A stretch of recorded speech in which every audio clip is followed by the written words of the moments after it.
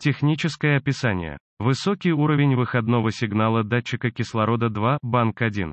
Что это обозначает? Этот диагностический код неисправности DTS является общим кодом трансмиссии, что означает, что он применяется к транспортным средствам, оснащенным OBD2. Хотя общие, конкретные этапы ремонта могут отличаться в зависимости от марки, модели. Датчик подогреваемого кислорода 2, расположенный сзади каталитического нейтрализатора, выдает выходной сигнал относительно емкости накопления кислорода в каталитическом нейтрализаторе. Ряд 1 – это сторона двигателя, которая содержит цилиндр номер 1.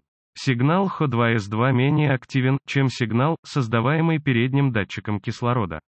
Этот код устанавливается, когда напряжение датчика HO2 превышает 999 МВ в течение более 2 минут, время зависит от модели.